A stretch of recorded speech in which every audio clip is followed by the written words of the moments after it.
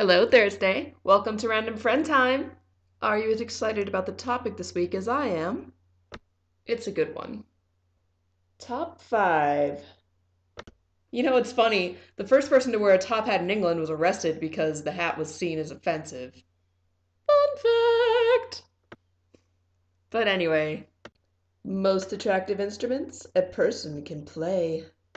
Number five. The flute and other related instruments such as the piccolo or the ocarina. Since this instrument carries a light and airy sort of tone, it can set the mood with ease. Bonus if you can play Song of Storms. Number four.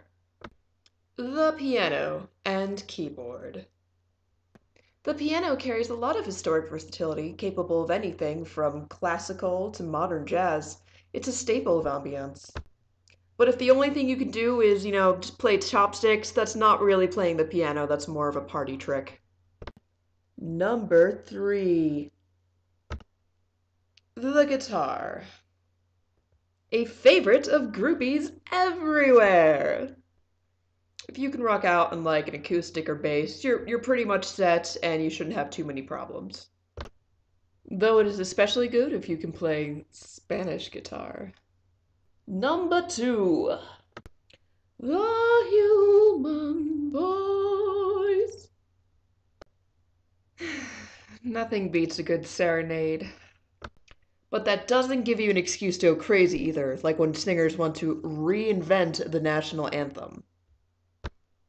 It's it's like just just sing the damn song. And it gets me mad when I hear that singers win competitions like America's Got Talent, which is supposed to be open to, you know, all the talents, because it's not like singers don't have The Voice or American Idol or The X Factor or anything. But if you could sing like a lovely crooner and not like a banshee, then you're fine. Number one, the violin. A good violin player has got it made. And if you can play the electric violin, or have a fiddle made of gold, then you win at being hot. Mm. Well, everybody, that's what gets me going at least. What are some of your favorite instruments? Post comments below. And I'll see you next week.